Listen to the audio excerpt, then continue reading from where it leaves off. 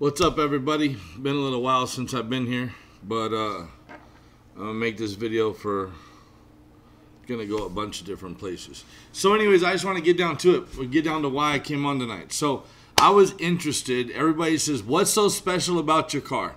What's uh, what's so special about a Hyundai Veloster? They're slow. They're this. They're that. They're everybody wants to talk shit." So I see as I go on Facebook and as I go on Instagram and everywhere I go, there's tons of them. A lot of us have them. And a lot of us that have them have customized them and then we show them off on the on the internet.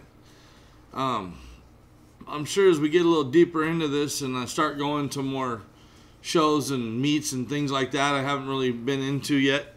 Uh, I'm sure I'll see. I'm sure. I'm, I'm sure I'll see a bunch of them. But you go on Facebook, there's a ton of support for them. People say, well, it's not a this, it's not a that, whatever. So, anyway, so what I did was I went on the internet and I found the stats. I'm looking this way because I have a second screen up here with all the stats I'm going to read you in just a second. But I'm going to make this quick. So, ready? Here we go in 2016, the Ford Mustang. Everybody says it's the baddest car, and there's a. It's because there's a lot of them. A lot of people have them, right?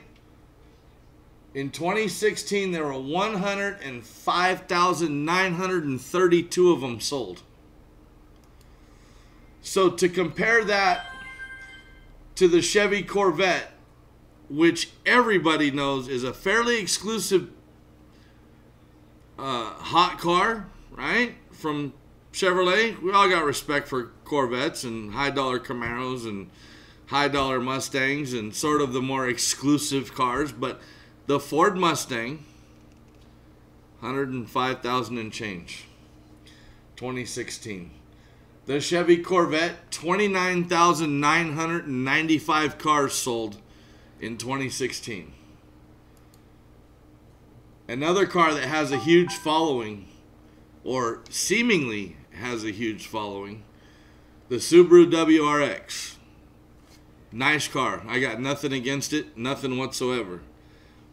But what I, my point is, when you go on the lot and you see a hundred Subaru Foresters, I believe that's the car, and you see how many WRXs? Three, four, five, there's a reason why there's only a few of them on the lot when you go and look. There's 33,000 sold in 2016.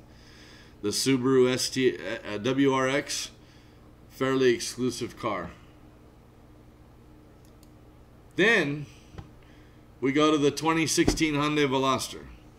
So I researched buying this car for 11 months, almost 11, 10 months solid, 10 months. Looking at this car, going to the the dealership and looking at it.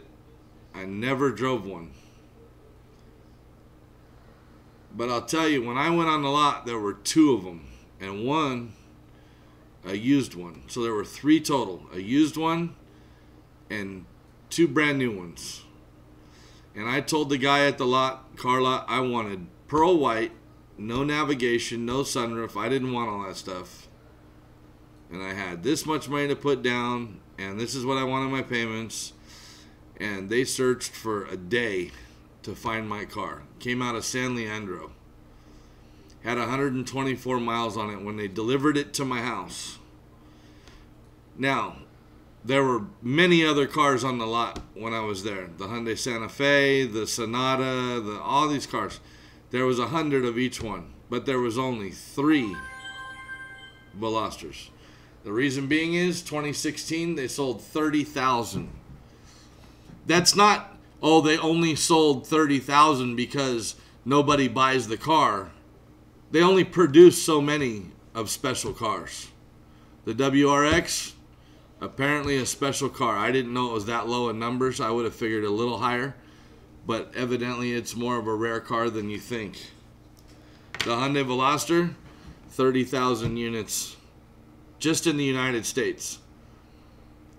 The Chevy Corvette, 29,000. The Ford Mustang, 106,000.